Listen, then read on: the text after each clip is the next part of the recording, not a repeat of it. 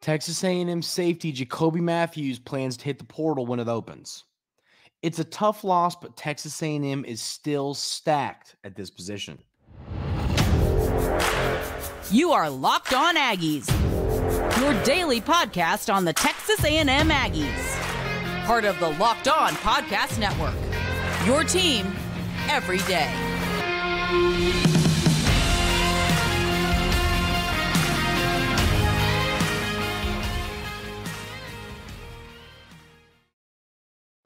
Welcome on in to Locked On Aggies. I'm your host, Andrew Stefaniak. Thanks for making Locked On Aggies your first listen every single day. Today's episode is brought to you by FanDuel. Make every moment more. New customers join today and you'll get $150 in bonus bets if your first bet of $5 or more wins. Visit fanduel.com slash locked on to get started.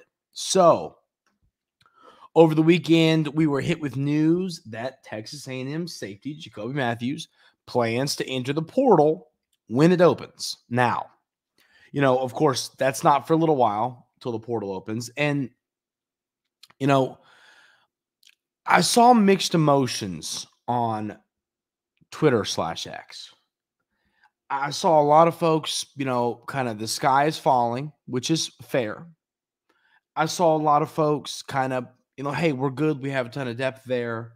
We're going to be fine. You know, I've had a lot of time to think on this, and I think I lie in the middle on this on on this topic. Um, listen, Jacob Mathews is a good football player. Last year, he has a PFF grade of 72.7 in 510 snaps, eight an 80.8 coverage grade. Um, he had 42 tackles, a half sack, an interception, and four pass breakups. So, I mean, you know, for a guy who didn't play every single snap, he put up some solid numbers. And, um, you know, he's a player that you would have loved to have competing for the job, whether uh, he starts, whether he's in the two deep, whatever it is. He's a player you would have liked to have on your roster for next season. But Texas A&M, Coach Elko did an incredible job at this position in the transfer portal, and you've got a couple talented young players coming in. So, I guess what I'm getting at here is y'all know how much I harp on depth. I love depth. I love having a ton of players on um I love having a ton of players on a roster. I love having enough depth at each position, enough players that hey, if this guy goes down, this guy can play, this guy can play. So losing Jacoby Mathews for that, you know, hurts. I think he is an incredible depth piece. I think he's a really good football player. Um, I think he, wherever he, when, when he does put his name in the portal when it opens and he goes to find his new home, I think he's going to make a new football program very, very happy. But, you know, I, I do think, you know, he had, he had a bunch of upside. I do think this. I know I haven't heard the why on him leaving yet. Was it you know there was just a lot of competition in the room? He wanted to go somewhere with some. He wants to go somewhere with some guaranteed playing time. What is it that led to Jacoby Mathews hitting the portal? It has been a little bit interesting to me, especially because I mean there's nowhere he can go yet. So, and like I don't, I, you can't. I don't think you can. Even if you say, hey, I'm going to go in the portal, I still don't think you can talk to teams until you're in the portal. Uh, well, but we all know, you know, the tampering and all that. But I mean, still, I mean, we don't. I don't know how that goes as a player, but you have to assume that he can't talk to schools until he's officially in the portal. So it's like, why, why not go through spring? You know, or, uh, see what happens. I don't know. I just think, um, you know, and and there's going to be a lot of people in the comments that you know, and and I get it. You know, the whole, uh, you know, he's a quitter, let him go, that kind of stuff. I get that. I see that in the comments all the time. But um, I just think in this new world of college football, whether you like it, whether you don't like it, it's just the reality. You know, I think this is just what college football is now, and um, you know, players are going to go where they where they think it's the best opportunity for them to, uh, you know, cr- uh, create a, a, career playing this game. So, I'm um, not saying I agree with the new world of college football, but I'm saying it's it's just it's reality. It's just what the this sport is now, like it or not. Um, And I think Mathews wants to go find a place that he feels is a better fit for him when it comes to maybe getting himself to the next level. So um it'll be a little bit interesting to see where he gets up. And I'm pretty sure I saw this on Twitter. Um, and let me know if I'm wrong on this, but I saw someone say that he can't because of when he's hitting the portal, he can't transfer within the SEC, so he's got to go to another conference. Um, let me know on that. Um, I'll double check on that and leave it in the comments. But I mean, it's just a weird. This is this is a weird one to me. Now you're going to have more players hit the portal after spring. You know, a lot of players like to stay where they are, um, get a feeling for for where for you know get a feeling for are that where they where they're at on the depth chart. Am I able to get into the to the rotation? Am I able to get some playing time? You know, a lot of players I think kind of feel out their situation before making a decision. So um, Mathews will not be the last player to enter his name in the portal. That's just once again, that's just kind of how this works now. But um, you know, Texas A&M's got to got to make sure they have the right amount of scholarships, and then maybe if a handful of players leave, you can go get somebody else in the portal.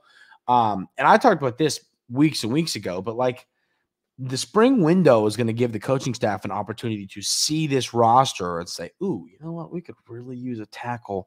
We could really use another linebacker." You know, and, and it's going to give them that opportunity, and we'll see that in the spring game. We'll see that in all this stuff. So, um, you know, we're going to learn a lot about this football team over the next month.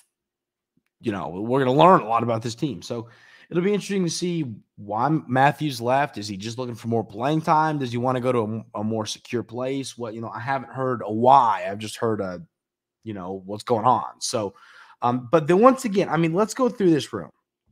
In this in this room, you still have Bryce Anderson. You got the transfer Trey Jones, the transfer to Ricky Wright, the transfer Marcus Ratcliffe. You got Dalton Brooks. You got Jared Kerr. You got Jordan Pride. You got Miles Davis. I mean, you still got plenty of talent in this room. Um, I think you've got plenty of players that can play multiple positions in the secondary. Um, some players that I'd be interested to see try and play multiple positions in the secondary. But I mean, this is just an all around loaded position. I feel good about all the transfers. I feel good about Bryce Anderson. Uh, you know, the young guys, Jordan Pride, Miles Davis, are going to be great now. Is it going to be this season? I'm not saying that, but I do feel good about them and, and their future when it comes to you know playing um, at Texas A&M. But I mean, these are veteran guys: Trey Jones, Ricky Wright, the transfers. Uh, I mean, they've played some some serious football, so I think that's a good thing. I think you bring in experience. So now you have a mix of experience. You have a mix of young guys. You have a mix of some guys who have been on the roster. Um, a talented guy with a ton of upside and Bryce Anderson. So, you know, I'd be crazy to sit here and say, "Oh, well, losing Mathews is no big deal. Who cares? He's not. You know, he he's he had, he had a good numbers last year, ton of upside. So losing a player like him hurts. It does. It hurts the depth. It hurts it. You know, I mean, he could he was fighting. He was going to fight for a starting position. It does hurt your roster. It makes your roster not as good. But to sit here and say that Texas A&M is well, there you go, we're winning four games. Is I mean, you know I mean, like it's not. Um, the sky isn't going to come falling down.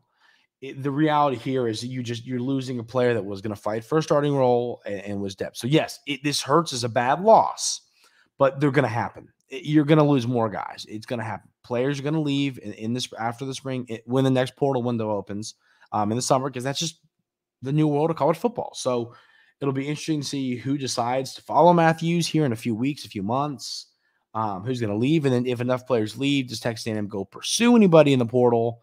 That will all be interesting um, to see how what you know what does Coach Elko and his staff feel that they need. Do they go get a ton more?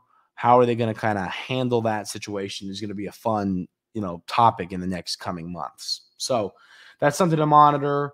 Um, this was a bit weird, just the timing of it, all of it. I mean, you know, it, but um, best of luck to Mathews wherever he ends up and he's be a good player somewhere. Uh, but yeah, that room's loaded. You're losing a good player, but that room's loaded. Um, young players, veterans, ton of upside in that room. So losing Mathews hurts. Losing Mathews hurts, but you still got you're still in a good spot there, in my opinion. So the baseball team absolutely steamrolls Wagner. We're going to talk about this three game sweep coming up right here on Locked On Aggies. But first, I want to tell you about our friends over at FanDuel. Get buckets with your first bet on FanDuel, America's number one sportsbook, because right now new customers get $150 in bonus bets with any winning $5 bet. That's 150 bucks if your bet wins. All of your favorite NBA players and teams, you can bet on them. Quick bets, live same game parlays, exclusive props, and a ton more. The FanDuel app is easy to use. It's fun to use. It's my favorite place to go and do all of my sports um, betting uh, I mean, in all the sport, you know, right now, NFL's over, college football's over, but you've still got college basketball. You've got college baseball. I told you I had a college baseball parlay the other day. Um, NBA, MLB's on its way back. We got spring training games. A lot of exciting stuff that you can bet on over at FanDuel. And when baseball's back, there'll be even more stuff to bet on. So visit fanduel.com slash locked on and shoot your shot. FanDuel, official sports book partner of the NBA and the Locked On Podcast Network. So the baseball team wins game one 17 2. Game two 2 0 in a very interesting game where Texas A&M scored two runs in like right out of the gate and didn't score again. It was just a pitcher's duel, which is a little interesting, especially knowing how the other two games went, because in game three, you win 21 2 and seven innings. So um, it's a little funny that game two is like a, you know, eight inning pitcher's duel after a couple runs. And, um, you know, but you still find a way to absolutely, you know, hammer them in the other two games. But, um, so that's a run differential of four. Well, I mean, uh, you know, a 40 to four in in three baseball games. Now, I want to add something. Okay. Is Wagner going to be competing to play in Omaha? No, they're not. That's just the reality here. Okay, they are not. But this is a Division One baseball team, ladies and gentlemen. I always reiterate this. This is a lot different to me than a you know than playing um, a Division One, you know, a, a small Division One team in basketball or football. It's, it's different because baseball is just there, there's talent everywhere. I always say there's talent in every level of college baseball D2, D3, NAIA, every level of college baseball, there's talent. Um, enough talent. I mean, I, have seen D2 schools that can compete with D1 schools. Um, at, at the JUCO I played at, we almost beat a D1 school. Like, I mean, like, we had them and I think lost it in the ninth, but, you know, I mean, like, D2, D3. What point is here? There's talent all over college baseball, especially at the Division One level. Any Division One school on any given night, we've seen this all over. Even in the SEC, teams are losing to teams that you don't think they should be. But Texas A&M is steamrolling these teams. I mean, once again, a 42-4 run differential in three games. That is absurd. I mean, that is really, really crazy. Um, and that's not only is that uh, you know a tip of the cap to the hitters, it's a tip of the cap to the pitchers. Four runs in, in, in three baseball games is really, really impressive. So, game one, 13 hits, um, 11 walks, five strikeouts. So only uh, hitters only strike out five times. We will take that all day long. 11 walks. We'll take that. Once again, I mean, you know, get find a way to get on base. I mean, we'll we'll take that. I want to pull up the numbers um, on some hitter stats. I've got some things, but um, and then the hitters in this game. The, the I mean the pitchers in this game they struck out 13, only two walks, two hit by pitches. As I always say, if you can keep the free bases to five, four, three, less, just don't have it be a number where you look back at a game and it's like, oh man, like we walked seven guys and hit three. I mean, you you don't want games like that. Keep those to a minimum, and we can always live with that. Uh, so that was game one. Game two, where you know it's more interesting. This is the I found this interesting too.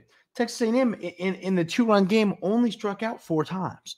So what does that mean? They were putting ball in play. You know what I mean? And and I like that. I mean, there, there's going to be games where sometimes they don't fall. You maybe you're hitting lasers and they're just not falling. That's just the reality of baseball. It doesn't always fall your way. So You know, in games like that, your pitchers got to pick you up. And what did Texas A&M's pitchers do? They did exactly that. The pitchers had 12 strikeouts, only two base on balls. Um, I mean, you just you love that. I, I love a baseball game like that, in all honesty, because here's the deal: it puts pressure on the pitching staff. You know, you've got some tough games coming up, which we'll talk about here in a minute. When you're winning games 17 to 2 and 21 to 2, there's no pressure on your pitching staff. Pressure on your pitching staff is a very helpful thing when you're playing Arizona State and USC and Texas. This is, you know, and then of course SEC teams. This is the stuff that matters. Um, so it's a good thing. Your your pitchers had to throw every inning they threw was a was a high pressure inning because of the score.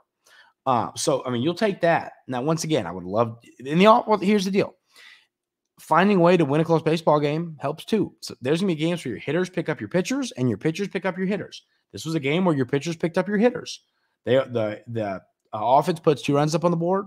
The def, uh, the pitching staff allows zero runs to go up on the board. That's an incredible baseball game all around. Love a game like that. It's I, enjoy watching a game like that. I know some might not, um, but you know we'll take that. We will take that. Uh, Texas Tech had eight hits, left eight on base in this game. And then game three, 15 hits, only struck out four times. So do the math on that. That is 8, 9, 10, 11, 12, 13. 13 total strikeouts on the weekend. You will take that all day long. I mean, really, that's, I mean, what's the math on that? I don't know, three. Um, 13 divided by yeah, about four strikeouts a game. I mean, you'll you'll you'll take that. You know, if you are putting the ball in play, it's a baseball cliche, but if you are putting the baseball in play, making the defense work, good things happen. It's college baseball. Opponents make errors. Errors lead to runs. And you don't care if they come off base hits, off homers, off a booted ball by the third baseman. You will take it all day long, put the baseball in play, and good things will happen. So, those were kind of the numbers from the three wins. Um, so, this is interesting. You have where we sit right now, you have eight hitters that have had 10 plus at bats, batting 300 or better. So Braden Montgomery batting uh, 423. He's got 11 hits on 26 at bats, two doubles, a triple, three bombs, 12 RBIs. Um, I mean, I mean, like every, I mean, Camarillo batting 409. Jace LaViolette still hitting 385. No bombs on the weekend for LaViolette, which is really depressing. I mean, you know, he's got to get better. I mean, I, I, don't care if he hits 500 in a weekend, 600 in a weekend. If he's not hitting homers, you know, what's he good for? I'm just kidding. Um, that's just a joke because he hit five homers in the first couple of games. But I mean, really, I mean, the point here is every, lineup top to bottom, guys coming off the bench. Everybody that plays for this team can hit. Um, and that's just that's just great to see. So, you know, seeing that you've got a team that really can hit the baseball top to bottom. It's not just the top, uh, top of your order. It's not. I love a lineup that one through nine, everybody can do damage, and that is the reality for this Texas A&M baseball team. I mean, once again, ladies and gentlemen, don't let anybody convince you that you shouldn't be excited about this team. Every time I watch this team play, I am just more and more convinced that they can win the national championship. Seriously, that's how good this team is. Now, like I said, you've got two games coming up against Arizona State. You got a game against USC, and then after that, a game against Texas. You've got one game against Lamar in the midweek before those upcoming four games. So you're going to find out a lot about this team in those games. If you can go three and one, We'll take that all day long. You go three and one, you beat Lamar, you go four and one in your next five. We're feel, feeling really good with with um, SEC play, starting to inch a little bit closer. So, um, you love that. You really do love the way this is shaping up for the Aggies. This baseball team can play, and this baseball team can win the SEC and can win the national championship. I mean, I, I just I, have just got a feeling this team's going to Omaha. I feel really good about it, just how good they are. Now we're gonna have to talk about once again. It feels like every time we make the transition from baseball to basketball, it's a little bit sad, and that's going to be the reality today as we talk about Texas A&M's blowout loss um, in Knoxville to the Tennessee Volunteers. We'll talk about that coming up right here on Locked On Aggies.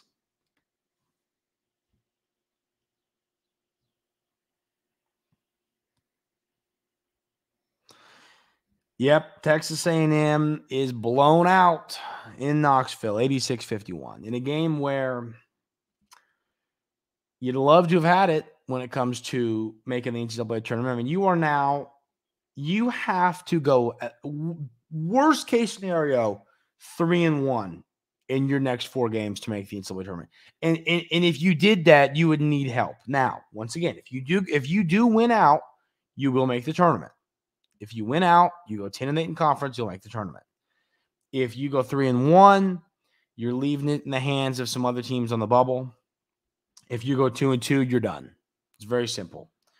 Um, Texas A&M can win all four of the games they have left. Texas A&M can lose all four of the games they have left. And it's pretty plain and simple. You host South Carolina, who I'm um, going to be interesting to see where they're ranked. What did they do this week? Did they go 2 0 this week? Let me pull up what they did this week. Yep, they. Oh no, Oh yes, no, they had they had a, a midweek bye, and then they beat Ole Miss on the road on Saturday. So they they went one and though this week. Um, so you assume they'll stay or move up in the rankings. They were at twenty, so they'll probably you know move up a spot, stay there. Um, you host South Carolina. You go to Georgia. You host Mississippi State. You go to Ole Miss. As I said, all four of those games are winnable, and all four of those games are losable it, it's just up to this team now. I mean, listen, you know, no, uh, one thing I'll say. So, I mean, let's go through the numbers first from this Tennessee game. As much as I want to just throw it in the trash can and forget it occurred, um, you shoot twenty seven point three percent from the field, twenty percent from three. You're eight of fifteen from the free throw line, fifty three percent. You're um, Carter, Taylor, and Boots combine 11 for uh, 11 to 40, 11 for 40 from the field, 28% you know when you're when you're you know guys that score the basketball do that you're not going to win games. You're just you, are that's just the reality. You're not going to win a lot of basketball games when your best guys are putting up numbers like that. It's just the sad reality of this team. So um i mean like i said you have to find a way to win three of these games to have a chance. Four gets you in three gives you a chance. Anything less i think you're you're done. So i mean the reality here, I think what's most frustrating about this season for Texas A&M fans is the fact that this team was projected. Some folks had them as the, best team in the SEC. Some folks had them as you know, uh, uh, second, third, fourth. You know, we've seen them all over, pretty much in the top five. And it, people believed in this Texas A&M team. People believed in Wade Taylor and the veteran leadership of Boots and the older guys, and, and frankly, Coach Buzz Williams. And this season didn't pan out the way many many would, would of course anyone would have hoped. I mean, you know, you were supposed to be competing for the SEC this year, not sitting at the bottom. You know, I mean, near the bottom, really. I mean, that, that's not what the season was supposed to be. So, I mean, thoughts on on Buzz? I, I've seen a lot of people frustrated. Now, I'll be honest with you, I'm not quite there yet. I think that basketball teams sometimes can just here's the deal. I, I, think the reason it's different from football is, you know, you're not you in football, you've got a million players on the team and you got all this different, you know, I mean, there's if somebody's not playing well, you got five guys behind them. In basketball, I mean, heck, you got like 11 guys, whatever, 10 guys on the team, 12 guys on the team. So if a handful of the guys don't pan out to be what you thought, you're just that's just you're in trouble. I mean, that's just the reality here. So um I, I, I I'm not I'm not like crazy mad at Buzz or anything, just simply because the reality here is sometimes basketball teams just don't pan out to be what you expected them to be, what you recruited them to be. That just happens. And I think that's kind of what has just happened here. I don't think this team, you know, when you recruit a team, you recruit players to fit different roles. You have a vision for the roster, a vision for the team.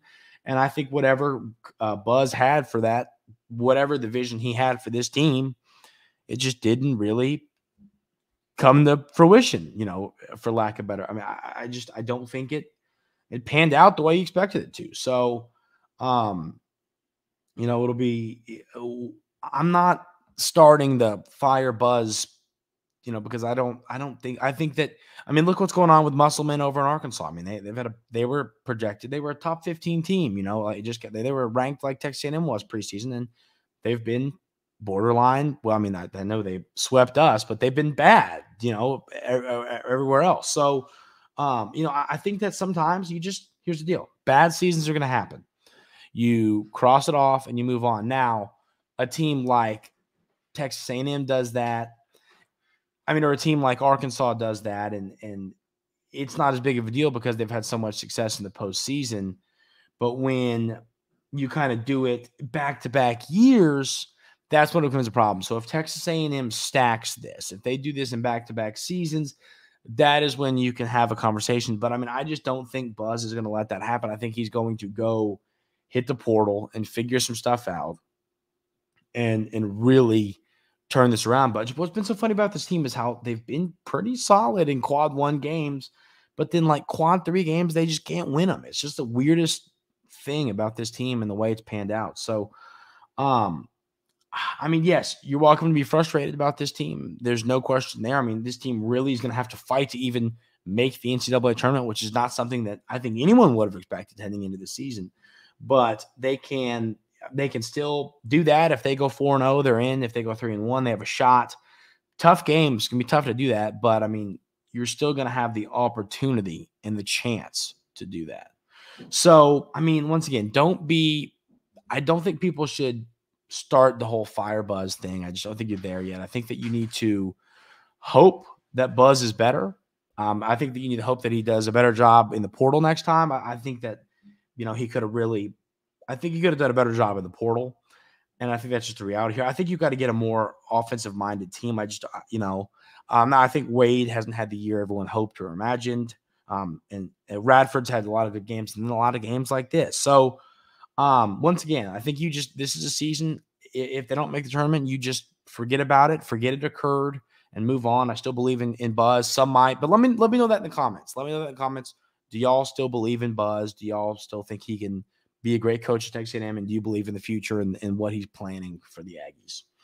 That is going to do it for today's episode of Locked On Aggies. Thank you all so much for being here every single day. I really do appreciate it. Those listening on audio, we had a switch up of, of um, who we used, our provider, for putting up on audio. So the show is going to have to come out a little bit later than normal. Um, on YouTube, we have normal time, um, normal time, but on on um, audio, it's going to be a little bit later. So, and that, that's just a one time thing. So sorry about that. Uh, but back to normal tomorrow, up early, you know, uh, seven in the morning. But once again, that's going to do it for today's show. I hope everybody has an amazing rest of your day today, and we will see you next time.